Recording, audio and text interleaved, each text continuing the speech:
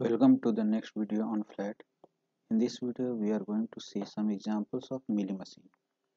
The question is design a Mealy machine that uses its state to remember the last symbol read and emits output Y whenever the current input matches to previous one and emits an otherwise. So what exactly the question is asking for? Suppose we are working on input alphabet 0 and 1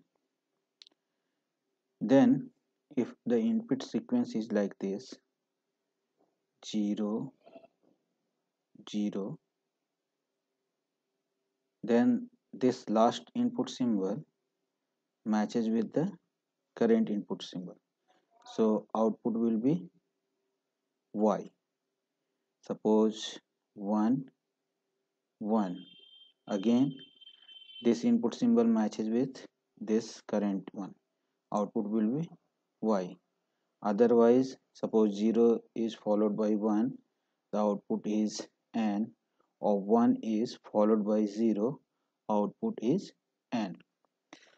So we will use three states to design the Mealy machine like this q naught is the initial state. If we read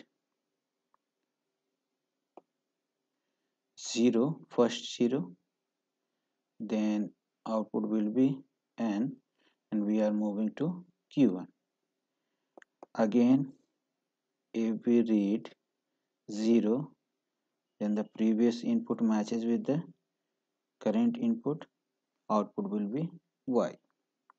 Similarly q2 here when we read first one output will be n and if the second one is read then again we are in the same state output will be y suppose we read 0 here then output will be n. And suppose here we read f1 then output will be n. In this way we have designed the Mealy machine.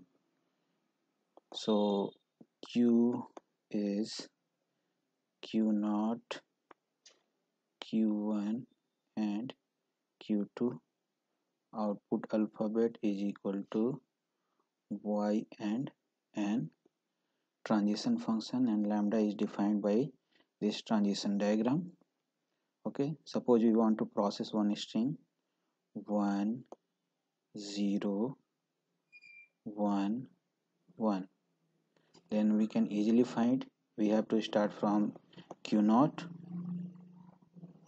upon reading 1 it goes to q2 output is n. Upon reading 0 it goes to q1 output is n. Upon reading 1 it goes to q2 output is n upon reading 1 it remains on. Q2 output is y. You can see that if the previous input matches with the current input output is y by this Mealy machine so we have designed the Mealy machine for the problem. Thank you